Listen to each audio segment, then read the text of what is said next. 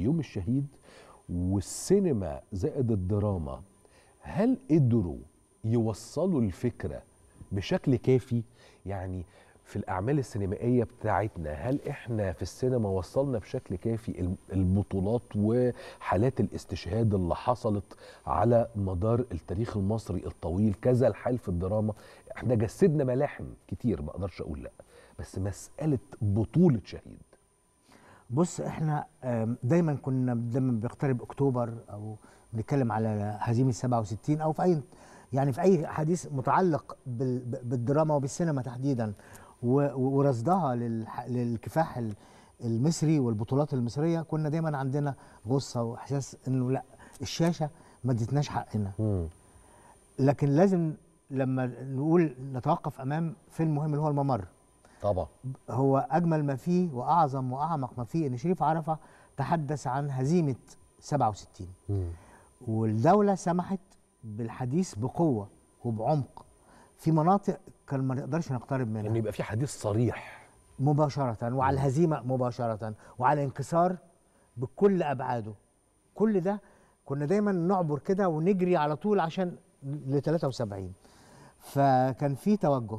هنعمل 73 بس نبدأ من 67 فممر الممر اللي هو ممكن يبقى فيه الممر اتنين بعد كده اللي هو 73 قيمة الممر اللي إحنا شفناه إن هو توقف عند الهزيمة لكن بروح المقاومة اللي هي كانت حقيقة. آه. انكسرنا أيوه في اللحظة دي. صح. وانهزمنا واتضربت البنية التحتية العسكرية بضراوه من من إسرائيل. لكن شوف قدرنا نقفز إزاي في لحظات.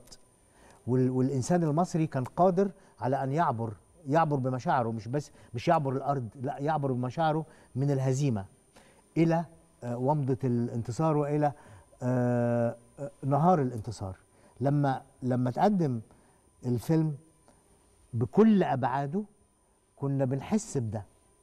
إنك أنت وأنت مهزوم قادر تواجه. عشان كده هو يوم الشهيد تم اختياره ليه؟ من أيام الرئيس جمال عبد الناصر اللي هو يوم استشهاد عبد المنعم رياض فريق عبد المنعم رياض. طبعا. اللي هو عنوان المقاومة بعد الهزيمة لا حرب الاستنزاف. أحد أهم العناوين كان آه الفريق عبد المنعم رياض. عشان كده آه بقى ده يوم يوم الشهيد.